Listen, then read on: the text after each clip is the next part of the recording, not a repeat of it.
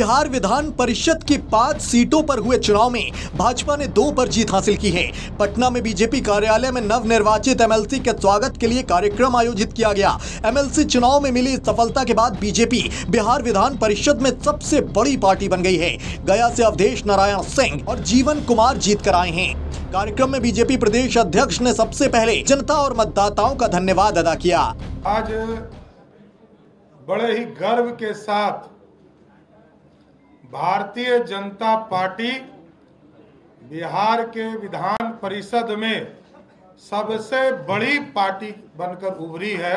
मैं इसके लिए जनता, मतदाताओं को और दोनों निर्वाचित हमारे जो मान्य सदस्य आए हैं, इनको मैं विशेष तौर पर और गया के, मगध के, शाहबाद के इलाके के तमाम शिक्षकगण तमाम ग्रेजुएट साथियों को विशेष तौर पर धन्यवाद देता हूँ कि उनके मत के अधिकार से भारतीय जनता पार्टी सबसे बड़ी पार्टी के रूप में उभरी है। और हम आपको स्वस्थ करते हैं। अपनी इस जीत से उत्साहित बीजेपी अध्यक्ष सम्राट चौधरी ने 2024 के लोकसभा चुनाव और 2025 में बिहार विधानसभा चुनाव के लिए बड़ा दावा किया। भारतीय जनता पार्टी 2024 में भी अपने इतिहास से अधिक को दोहराने का काम करेगी और 25 में भी भारतीय जनता पार्टी दो तिहाई से अधिक सीटों पर जीतकर बिहार में सरकार बनाने का काम करेगी। वहीं उन्होंने प्रधानमंत्री के नेतृत्व पर भरोसा जताते हुए कहा आने वाले वक्त में बिहार की जनता समझ गई है कि कितने प्रधानमंत्री को देखना है। खिचड़ी सरकार बनाकर क्या घोटाले बाजों की सरकार बनाना है?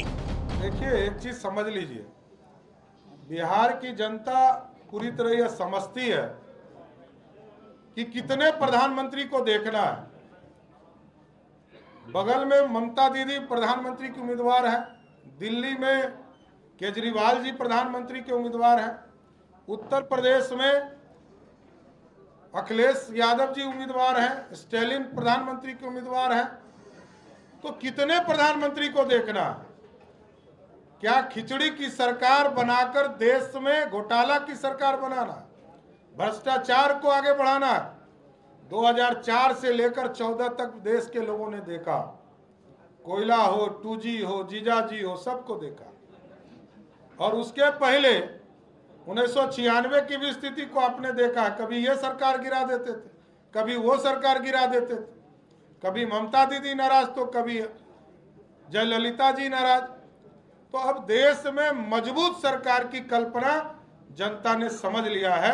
इसलिए आपने देखा कि आदरणीय नरेंद्र मोदी जी के नेतृत्व में लगातार हम विकास कर रहे हैं, देश को मज़बूत कर रहे हैं और देश आगे बढ़े, इसकी चिंता पूरे भारतवर्ष के लोगों को है। इसलिए ये जो गठबंधन के लोग हैं, ये कहीं दिखने वाले नहीं है। सम्राट चौधरी ने कहा कि देश की जनता जानती थी कि महागठबंधन सरकार उनके लिए कुछ नहीं करेगी, इसलिए वो नरेंद्र मोदी के साथ हैं। देश में पीएम की कोई वैकेंसी नहीं है।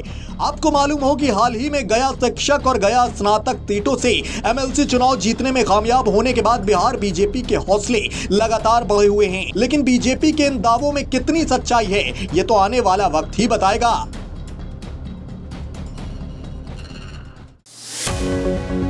Thank